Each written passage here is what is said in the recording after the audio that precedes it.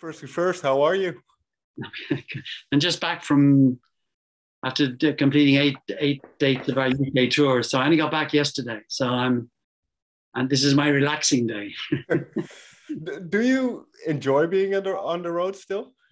Uh, yeah, it's it's of course it's uh you know when it works it, it's uh, it's fantastic and of course the great thing about live stuff is that that you get to meet the people who like you you know and they'll tell you what they think of you good or bad. because am I right in saying and maybe this is wrong but when you were younger, you weren't the most natural performer.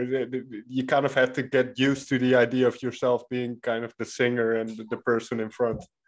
I think, well, I think the difference between me and a lot of people is the fact that you, you a lot of artists would tell you that they started in the clubs, they were working with mm-hmm. bands, started very little, you know, and like an apprenticeship, earning, performing before nobody, and then gradually building up and then finding success, and it all goes great.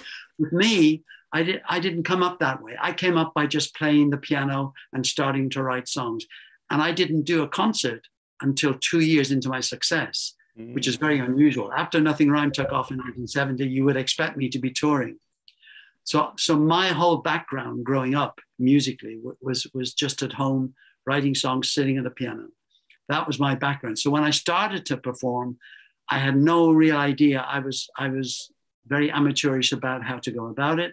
I didn't look after my voice too well because I, I wasn't that experienced. So, so gradually, I've learned over the years what to do and how to look after my voice and how to perform. And I, I enjoy it very much now. In the beginning, then, what was your ambition, so to say? What, what was the thing that compelled you to write your first songs and to kind of pursue that avenue of creative uh, expression? Just to be a success, just to be, a, I, I wasn't thinking globally. I never mm-hmm. envisaged been success in America or Japan or those kind of places. I saw my success entirely in the, in the country I was living in. I was living in, in, in, in England. And so therefore I was very happy to be a success in England. But there I was flying over to Holland and to Germany and to France back and forth within a couple of days, which was great because it meant that I could, I wasn't away too long and I could get back to the work that I enjoyed doing the most, which of course was, was uh, spending the day uh, writing songs when did this habit and i don't know if we, we should call it a habit but when did it start that right of writing songs? And and kind of i suppose I, I heard some interview where you said you you spend about nine hours a day writing. I don't know if you still do but uh, that diligently honing your craft when did that start? Well the, the honing of my craft came much later but, but okay. uh, in the beginning in the beginning I just started to write songs. I think the catalyst for, for me and for many young people, 1962, when the Beatles arrived, mm. they were very different to anybody else before them. In England, we had Cliff Richard and the Shadows, and they were the big successes. But you never thought, you never identified with them in the sense that you could be like them. When the Beatles turned up, they were 19, 20 years of age. They had Beatle haircuts. They had they had color. They had a unique look, and they wrote great songs. And so you felt, well, if they could do it, because they didn't need a degree to write them, they couldn't read music, they just wrote out of a love of music. So because we had that in our brain, we thought, well, if they could do it, it's possibly that we could do it. So my huge big influence to begin writing songs were the Beatles and Bob Dylan. And so those were the major influences in the garden shed trying to write songs. So that would have been, I would have been 16 years old, I guess. Right. Uh, when did you write the first song that you that you were proud of or did that come immediately? No well i, I wouldn't say immediately but but the first song i was proud of which i'm still waiting to record i keep planning to do it is a song called ready miss steady. It's just, okay. it's just a great little song. So you know that that that's but i, I haven't yet got around to recording it but uh, it's on the agenda. I've performed it live a few times because it's a cute little song. You mean Ready Miss Steady? She travels through the cities on the seats on her own, just looking for a fella who can sit on a throne to make a fool and lights whenever she can. Is all this girl that walks to them can understand. She's Ready Miss Steady, and everyone knows she's Ready Miss Steady who really goes for her man. I mean, that's that's 15, 16 year old kid. but that's that's excellent, and especially that I think you can hear of where you where you wanted to go with with songwriting and, and and kind of that those those ideas. So so when the success did hit and, and you mentioned it and, and especially international as well did it come as a surprise? Did it come as a surprise to you when you wrote for instance uh, alone again? Did you know it was a great song or how does that work from your perspective? Well it's not difficult for me. Alone again was written in a writing session to um, you know the, the, sitting in a room on my own. And uh, it was just one of the songs i was writing and i was happy with it. Um, you know i didn't think it was any more special or worse than than anything else i've done. And that's a good thing. That's a good policy to have not to know. God forbid you should have to know every time you something if it was going to be a success. I was very happy with the song and the recording session that took place after that involved two songs. It involved alone again and out of the question and on the session itself, everybody said that the next single at that time should be out of the question. They didn't really see Alone Again as being okay. commercial. And so, uh, you know, but at the end of the day, uh, my manager said, we'll stick with Alone Again. It may not be as commercial, but it's a better song. So, so as I say, I write songs. Success for me is always finishing what I think is a good song, the work mm. I put into it. You mentioned earlier my nine to five. That's a brill building mentality. Brill building, if you don't know, was in New York in the late 50s, where people like uh, Carole King, Neil Sedaka, Neil Diamond would go into a room at nine o'clock, owned by this publisher, clock in at, at nine, sit in a room with a piano, and then leave at five o'clock for five days a week. So I, I have that mentality because I think it's good discipline. So I can sit for five days trying to come up with melodies. And if I don't come up with anything after a few days, it's never a waste of time because you're practicing. So that there's always a positive to it. But um, so that's you know that's pretty much how it goes about. Do Do you have specific times that you prefer to write, or specific uh, uh, moods or mindsets that you're in, or can it be? Is, is it just every day? Is it is it one of those things no, that no. you have to do? No, no, no. It's when I'm need to when I'm needing to be uh, coming up with melodies. The key to songwriting is it, I have this what's known as uh, Irving Berlin uh, approach. In other words, the hardest thing to come up with are good melodies. Mm. You, you know, you can write lyrics, you can be a good lyricist uh, throughout your life. I think you're born with that ability, but you develop the ability to write music through your love of music. As I say, we don't read music. So it's the love of popular music that gets into you, which out of that comes the potential new melodies. So I'll sit there to come up with a good melody. And come up with a good melody, you can trunk it. Mm. You can put it to one side till you're ready to record. And the great thing about good melodies is they survive any length of time. But if you finish a lyric and you don't use it, it can become dated. So mm. that's that's the whole point. If I need to be coming up with a melody, then I'll go into the discipline, I'll go into the routine of, of, of writing. But other than that, like at the moment now, it's all about most of this year is about the new album, it's about promotion, it's about touring. It's arguable that by the middle of next year, I'll be thinking to myself, you know, I want to get back so we're looking, we'd probably be looking at 2024 uh, for the future recordings. Well, if, if we jump to the, the new album Driven, then, because I can imagine you've been making music for quite some time, that time, I, that space of time, I don't know how long that is, where, where you try to come up with melodies for new songs. Uh, having written already so many melodies, is, is that a tricky thing for you, or do you have to kind of wade your way through old ideas? How, how do you kind of arrive at what would become the new songs?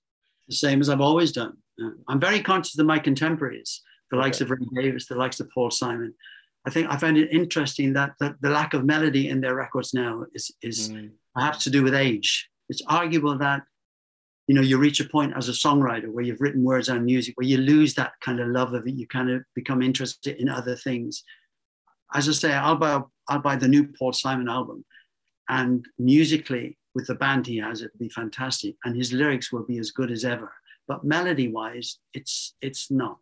Melody wise it's losing out. And i think that's a danger that i try really hard to avoid and i want to avoid. I don't want a situation where you might say it's a weak melody on that song but it's a good lyric. I wouldn't be mm. happy with that.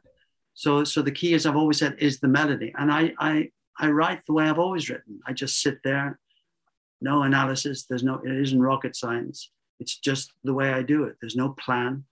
It's just uh, sit there, play. I love the keyboard. I'll search for chord variations which inspire me. Yeah, and, and you know, it's a keyboard that hasn't changed in 300 years.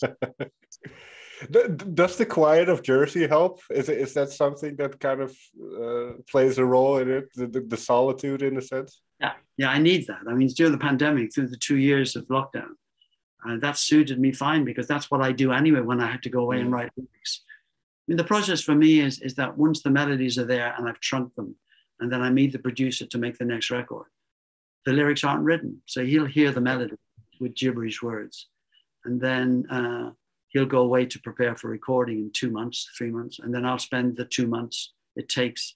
Lyric writing takes a long time, but but at the end of the day, it's very satisfying. Right, and this time around, it was um, no, it's uh, Andy Wright who who uh, helped produce the album. So, so what was that initial meeting with him then when you said you have those kind of uh, sketches of songs or, or the, the, bare bones of these songs and, and then you start talking with him about it and how, how did the songs kind of start to get fleshed out well what, what the difference with andy and ethan ethan johns did the last album ethan johns is the son of glyn johns and that's my most successful album in over, over 30 right. years so the difference is that with ethan he only heard the melodies and gibberish words. With with Andy, once I knew we were going to record, the pandemic hit us. Mm. And so therefore I spent most of that time preparing the lyrics. So when, when Andy, when I sat down with Andy, I had the lyrics written. So that's the difference. Uh, the lyrics were, and you know, he liked of the 14 or 15 I played him. Um, he picked the 12 that he wanted to do or 13. And as I say, most of those lyrics were written because of the, the global situation that was affecting us all did that influence then the, the type of lyrics that you wrote or because I've, I've also read an interview where you said you you don't necessarily have to uh, experience a specific thing to be able to write about it that you that you can if, if you have the knowledge about certain concepts or whatever you can write a, perfectly well song about it. So so what was this writing process for you like uh, in terms of the themes? Did did the pandemic and the fact that that life was different for a while uh, did that affect at all the the music? No. No the solitude no no because i'm locked away i'm conscious of what's going on in the world i'm conscious of the pandemic and the, effect of covid on everybody mm-hmm. horror of it all and, and uh, but for me the subject matter is the same as always i just get into a subject i start either with a title maybe or i start with a blank piece of paper no idea what it's going to be about and that's exciting and after a couple of days of not finding any idea, suddenly you hit on it. And then you end up writing more verses than you actually need. And that's that's just something in you. Uh, so it, it, it's a it's a marvelous. I mean, I, I love the art of, of songwriting because it's the key to everything I do. Mm. So there's no analysis in my mind of how I go about it. Okay. I, think I mean, what I was conscious of during the writing that I thought I could slip in was climate change because okay. whatever was going on with COVID, every other day you'd hear something to do with COVID, with, with climate change. So Take Love, uh, a song has a verse about uh, climate change, and there's another song that mentions it. So I like to do those kind of things in a subtle way. Right. You know, to, to involve issues, but not in a kind of very public way. As, as you mentioned, you you don't like to analyze it too much, but did, I'm gonna try anyways. Uh, do you know where this love to to write songs comes from? What what what that kind of spark is for you? Is it is it kind of the creating something out of nothing, or what what is it? It's just a love of the. I mean, I'm, it's the you know the inspiration to begin writing songs is what you hear on the radio. Sure. You know, it's the that that generates in you more than it does your friends. For some reason, it hits you. Something in you gets get taken in by that more than your friends who just like the records and stuff sure. like that. So, but it's it's. I mean, I I I don't know. Uh, what's your question again? Let me. I no, look, kind of where that passion comes from, but it's one of those things, I suppose. It's it's very difficult to put into words. It's just there, right? Yeah, it's just there. I mean, it's always been there because it, nothing has changed. I've never been bored by sitting on a piano. I tried to learn guitar but I'm left-handed and it didn't work out because the, the guitar teacher wouldn't teach me left-handed. so I dropped the guitar, went on to drums, and I played the drums on the piano. So it's it's kind of cool. I mean, it, it's everything put together. I mean, you, you've got people like McCartney who can play great acoustic guitar. he can play good piano, and he, apart from his bass, he's able to use those in his songwriting. With me, it's pretty much all the piano. I mean, I, have used other keyboards, I have to say, for effects, but generally speaking, nine times out of ten, it'll always be be me with the piano. You know, in my mind's eye, I, I wish I had learned acoustic guitar because it might have given me something. But but then I've learned to play the guitar on the piano. Mm. I do hmm. songs that that that strum. I can do that. I can strum like a folk song. I've written folk songs, so I can strum it uh, like a like a guitar. So I get away. Has technology uh, changed your uh, playing style at all? No, it's affected. Um, it's made me buy all the all the little digital devices mm. to um, to record my demos and stuff, to record songs at home. But I, I hate them because okay. I, I, I need my glasses to read. So I'd be coming up with an idea and I'd I'd have the digital little devices only about that size. Brilliant sound, brilliant sound. But every time I'd have to keep putting my glasses on to change. I stick, I, I, am very happy with cassettes and the, the, the, original 70s ghetto blasters, which have the inbuilt microphone.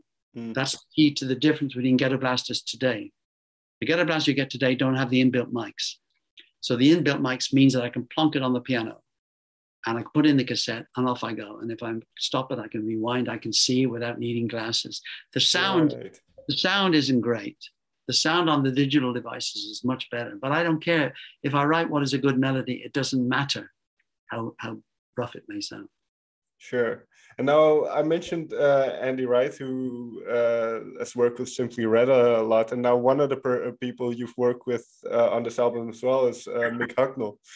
Mm. So what was it like getting the chance? And and I suppose with KT Tunstall as, uh, as well, what was your approach to to working with other people on this record? Well, we're in an era now where duets are quite the in thing. So there's a, there's a lot of that going on. So we, with, with Take Love, we finished recording it, and and uh, Andy and I said, you know, this would be a good song for a duet. And then I mentioned that that uh, KT had done a song called Suddenly I See, which was a big hit for her sure. a few months back. So we felt it was a similar tempo. So we said, yeah, let's send it to her. So she lives in California, sent it to her, and she really liked it. And she recorded her vocal over there. We just said, do what you want on it. We didn't inst- in, in, instill in her what she needed to do. And uh, uh, and that was it. We loved it. And then she came back to London. I haven't made a video in 30 years. So we did a video together. That was great fun. Had a good chat, good talk. She's a lovely person. Simple. With Mick, it was a case of uh, with Andy because he produced Simply Red. And he said, I knew Mick was a fan because I had, I had uh, been to a concert where, where I met him in uh, backstage. So he, he was up for it. He said to, to Andy, uh, if there's something there that Ray would like me to sing, so we sent him uh, uh, Love Actually. Uh, so we sent him. Uh, uh, um, bygones be bygones. Yeah, we sent him Love Casualty and Bygones, and we thought Love Casualty might be what he would go for, but he really liked Bygones, and um, he's done a really nice version. So it's, it's, it's nice. Do, when you write those things, uh, for instance, with uh, Bygones, could, could you hear the second person on it? No. Okay no, no that, that just happens. I mean, I, uh, we do it live now, for example, uh, with my guitar player in concert, and uh, and it's just me. He's he's my guitar player is rocking it out uh, guitar wise, but it's just me singing it. No, it's fine. It's nice to have people singing with you, but it's uh, you know it it works fine even without. The, the way you describe it and your approach to songwriting. And i've seen videos of you where you, where you show that you you try to keep up to date with uh, music coming out and, and kind of listening to all kinds of uh, genres and mm-hmm. everything. Is, is music music still a very much a big exploration for you where you kind of uh, sift through all uh, all kinds of music and kind of look for inspiration? Or do you kind of have you settled well settled is not the right word but have you found kind of a way that works for you no, I, I, am searching all the time. I mean, you can't be a contemporary songwriter if you don't like what's going on. Mm. I remember George Harrison famously quoted said he, this was in his in the 80s. Uh, he was quoted as saying something to the effect that he couldn't, he didn't like anything he heard on the radio now. So you have to go back to a George Harrison of 16, 17. He would have loved everything he heard on the radio. That's the difference and stuff. So it's very important to like what's going on. I might buy a rap record by Jay Z or somebody like that, but, but you know, melodically, I'm not going to get much from it. But production-wise, mm. it'd be interesting, and I you can use those ideas, you can incorporate them in in working with producers on your own material. So there's always important. I mean, I, I, you know I buy everything because it's important to like what's going on and to listen to what's going on and to get something out of it. It's uh, and it's not a pressure. It's not a job that that you know you feel you have to do it. You do it because that's what you enjoy doing. The excitement of sitting down in my music room with two massive speakers. I hate to listen to stuff on a computer. Okay. I'm computer illiterate, but I, so if my daughter says to me that there's a track here they want you to listen to, I'll say put it on the CD and I'll take it up to my music room. I don't want to listen on a computer. So I love to sit in a room, whether it's a CD, and and uh, that's that's always been a joy there is an aspect of sharing it with an audience because you do share it uh, otherwise you would keep it to yourself. So so what is that interaction then like for you? We mentioned the playing live a little bit in the beginning. So so what is that interaction of, of wanting to share what you've created? Yeah i mean i'm very confident. I mean i if i when i go on stage for two hours i'm very confident very uh, very at home, very at ease, singing my own songs. Now, if I was to sing other people's songs, I'd be as nervous, I'd be frightened, I would like, I'd worry about what the audience would think. But what I know when I'm performing, they they know my voice, they're hearing me sing well. It's my songs I'm playing.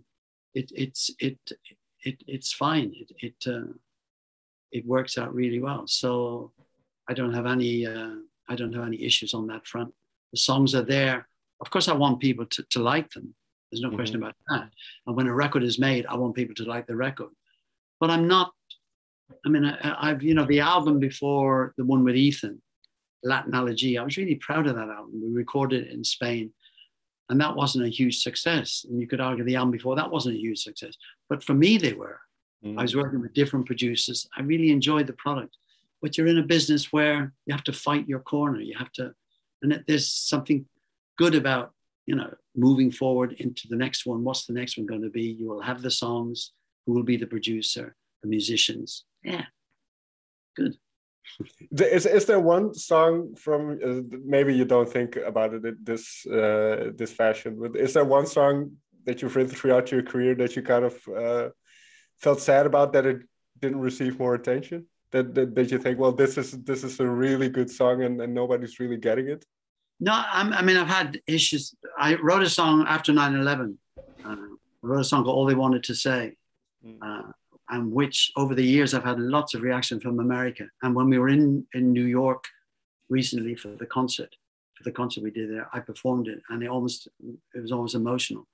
It, it deals with an aspect of 9 11 that really wasn't dealt with at the time. Most of the the furor, the, the, the, the writing on the 9-11 attack was the planes hitting the buildings. Sure. But I picked up on an aspect where people were leaving messages to their loved ones, knowing that they weren't going to survive, and just to say, I love you.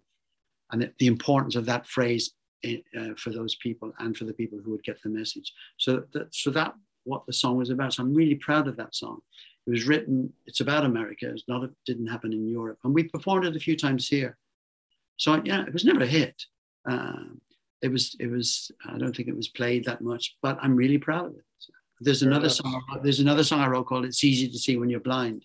I'm really proud of that song. So yeah, the Peggy Lee song. I can't can't think straight. It was a joy to do. So yeah, I have many songs. Fair enough. Final really... que- sorry. Final question then. Uh, when did you arrive at the title "Driven"? Because that's what I am. I think you probably guessed that from talking to me. there you go. That pretty much sums it. The title was going to be, um, it was going to be um, moderation in excess, mm. but but we figured that uh, people liked something more simple. So I said, well, you know, I'm driven. This it's very much in me to do it. I mean, I'm 75 years of age. You know, I should maybe be retired and become a gardener or something. Well, I was going to ask. So, do you see yourself doing this kind of the, till you drop? This this is kind of what you do. No, I don't think of it in that way. I just think of it as being that. I mean, the moment is where we're at, and I'm really enjoying it.